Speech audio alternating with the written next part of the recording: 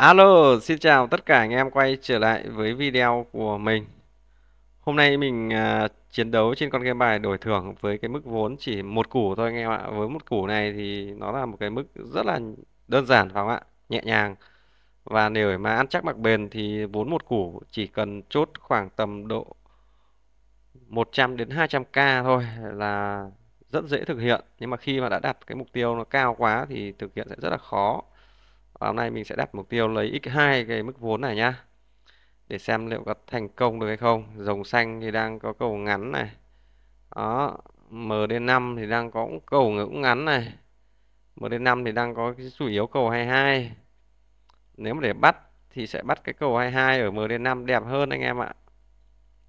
Rồi, vào luôn tay xỉu 500k luôn đây anh em. Mé tay này đẹp lắm này. Để xem thế nào.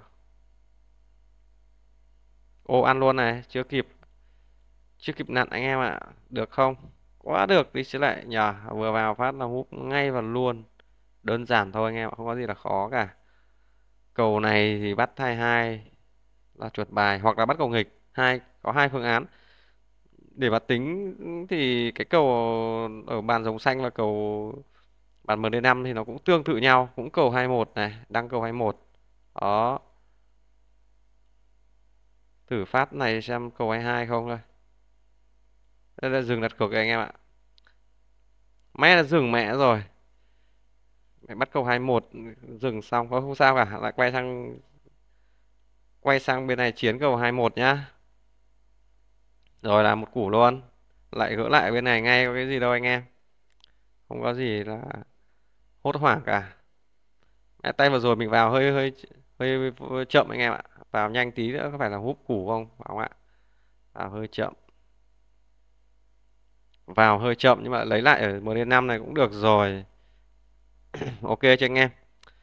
Đó vốn một củ mà chơi lên được hai củ, hơn hai củ rồi đấy.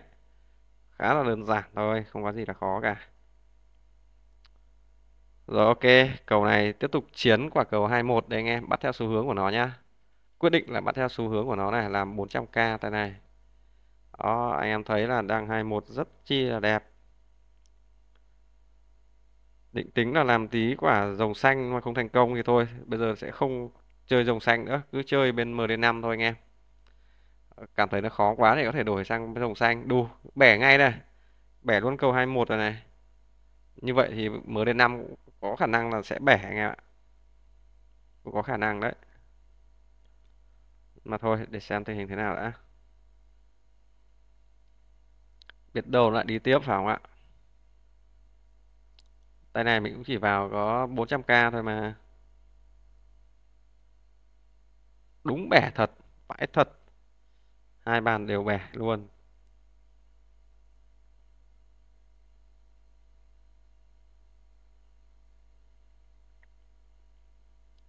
Rồi ok, không có gì cả. Tay này thì bây giờ thế này nhá.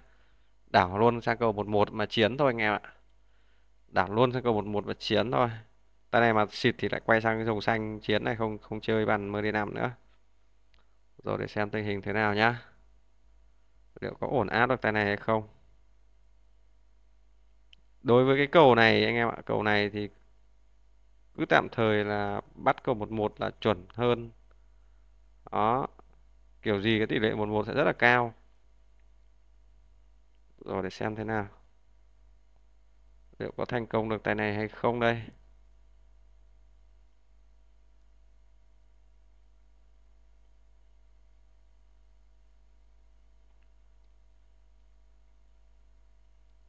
Rồi, chuẩn luôn anh em. Quá là hợp lý luôn anh em ạ. Nhờ, đơn giản. Không có gì là khó cả không có gì là khó đâu anh em ạ. Cầu này bây giờ lại chiến cầu một một này. Tiếp tục chiến cầu một một nhá. Tay này sẽ vào 300k thôi. Đó. Những cái tay sau này thì sẽ vào giảm dần. Ok chưa? Quyết định là vào giảm dần, không nên tham nữa. Để xem tình hình thế nào nhá liệu có thành công này không? Vốn một củ là một, một cái mức vốn rất là là đơn giản và anh em nào có thể anh em nào có thể là là thiết kế được. Nhưng mà để mà ăn chắc mặc bền thì chỉ nên chốt khoảng một hai trăm k thôi. Mình chơi lên đến ba củ thì cũng rất là nhiều lần rồi. Đủ tài luôn này cày thế nhở? Không sao cảm thấy hơi khoai dần rồi đấy.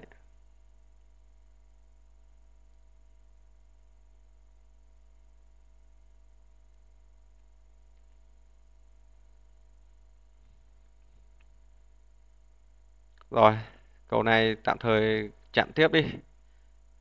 Chặn tiếp anh ạ, tính sau, nếu mà thua thì đảo luôn bắt cầu thuận nhá.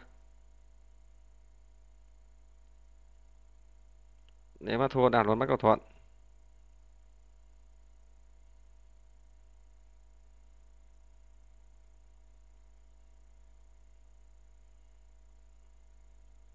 Rồi tạm thời cứ như vậy đã anh em ạ không không cần phải xem xét gì cả. Nếu tay này mà đứng tài á thì mình sẽ quay sang bắt cầu thuận luôn này.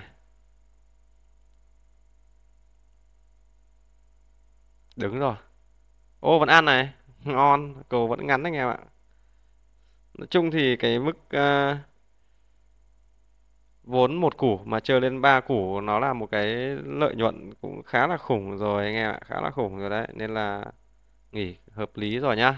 Ok đó, ngoài cái bàn MD5 này ra thì anh em có thể là chơi rất là nhiều bàn khác nhau. Ờ, nếu như anh em thấy bàn nào đẹp hợp với cái cách của anh em ấy thì anh em chiến thôi chứ không phải là cứ phải chơi một bàn anh em ạ. Đó đơn giản phải không ạ? Và cái lợi nhuận của mình thì coi như là x3 tài khoản là nghỉ quá là hợp lý rồi. Tay này, để mình xem nào, nếu như mà tay này mà vào tiếp ấy, vẫn bắt cầu nghịch được anh em ạ.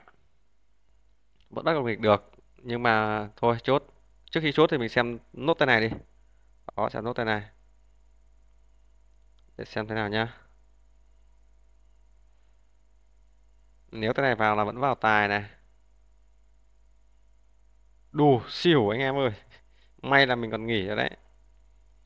Rồi, ok. Không nên xem nữa anh em ạ. Nghỉ là nghỉ thôi. Anh em thấy video hay, ủng hộ mình bằng một like, một follow nhé xin cảm ơn tất cả anh em theo dõi video của mình. Chào tạm biệt anh em và hẹn gặp lại ở video tiếp theo.